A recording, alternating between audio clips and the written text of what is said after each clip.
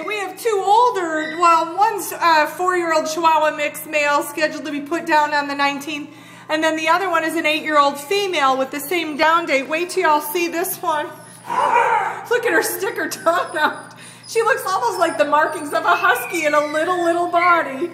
And then this one, oh, just a long-eared little Chihuahua. Hi, sweethearts. Look at that one over there. Oh my gosh. She's sticking her tongue out. Let's see if she'll come over by me. Come here. No. She's like, I don't know you. They're scared.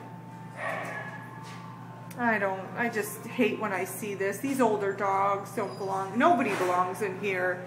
But you just feel sorry for them. Look at her with that little tongue sticking out. that is precious. Hi, sweetie. So if you, you know, if you can't adopt or foster these dogs, please pass their videos around to anybody that might be able to help them. The more people that see them, the better chance they have of getting out of here